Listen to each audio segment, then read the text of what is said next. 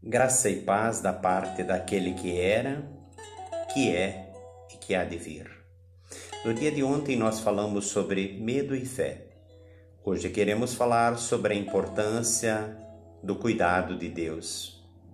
Uma vez um homem estava sendo perseguido por vários malfeitores que pretendiam matá-lo.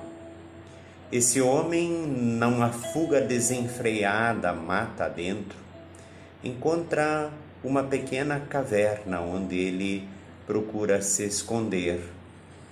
E quando ele está no desespero, com o medo da morte se aproximando, ele faz uma oração a Deus e nessa oração ele procura dizer: Deus Todo-Poderoso, Fazei com que os seus anjos venham do céu e tapem a entrada dessa caverna para que esses homens não me matem. E nesse momento ele escutou os homens se aproximarem da caverna onde ele se escondia. E começou a aparecer ali uma pequena aranha tecendo a sua teia. A aranha começou a tecer aquela teia e o homem ficou ainda mais desesperado. Ele ora novamente a Deus. E ele diz na sua oração, indignado: Senhor, eu te pedi por anjos. E o Senhor manda uma pequena e insignificante aranha como essa. Se o Senhor for de fato Deus poderoso, coloca na entrada dessa caverna um muro forte e resistente, para que eles não possam entrar e me matar. E então ele abriu os olhos, esperando ver um grande muro tapando a entrada, mas ele continuou vendo apenas a aranha tecendo a sua teia. Nesse momento, os malfeitores que se aproximavam é, chegaram perto do local onde ele estava escondido em sua pequena caverna. E quando passaram em frente à sua caverna, fizeram uma pequena pausa, fazendo menção de querer entrar nessa caverna.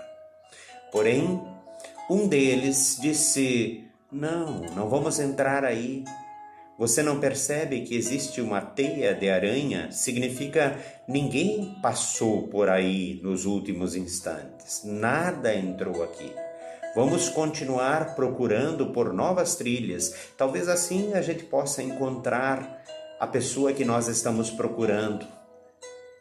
Fé é crer no que não se vê. É perseverar diante daquilo que nos parece mais impossível.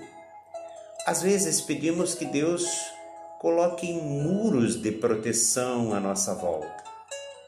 Parece que nós só conseguimos ver aquilo que nos protege com os nossos próprios olhos. Mas Deus pede que nós tenhamos confiança nele. Pede que nós deixemos que ele cuide de nós. E Deus age muitas vezes dessa forma. Por isso, não desanime.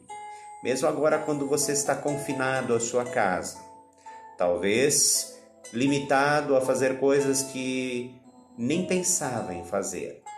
São nesses momentos mais difíceis que encontramos em Deus a nossa força são em momentos como esse que nós percebemos a maneira de Deus agir.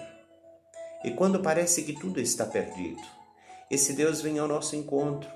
Ele é socorro bem presente. Por isso quero dizer a você, nesse tempo de ansiedade e preocupação, Deus cuida de ti. Pense nisso e tenha um bom dia.